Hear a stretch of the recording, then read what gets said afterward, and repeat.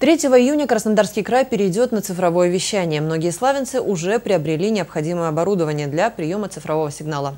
Но настроить его самостоятельно не у всех получается. Для того, чтобы помочь жителям в этом вопросе, организована работа волонтеров.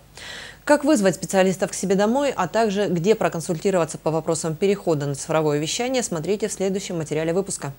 Цифровое вещание открывает перед телезрителями мир новых возможностей, позволяя принимать 20 бесплатных телеканалов в отличном качестве. Если есть телевизор, выпущенный не позднее 2013 года с поддержкой формата DVB-T2, то никаких сложностей с настройкой и приемом цифрового сигнала не будет. А если телевизор более старый, к нему нужно приобрести цифровую приставку, подключить которую можно самостоятельно – если возникнут трудности с подключением оборудования, можно воспользоваться помощью волонтеров, которые приедут и настроят прием цифрового сигнала бесплатно.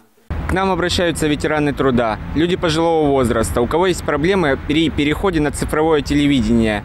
Мы оказываем помощь э, при подключении, при настройке, консультируем людей, э, чтобы цифровое телевещание пришло в каждый дом.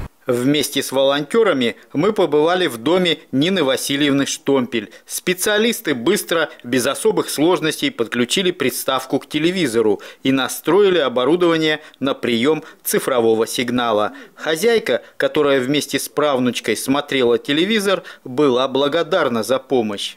Большое спасибо ребятам, что сделали телевизоры. Теперь я могу больше программ смотреть, новостей.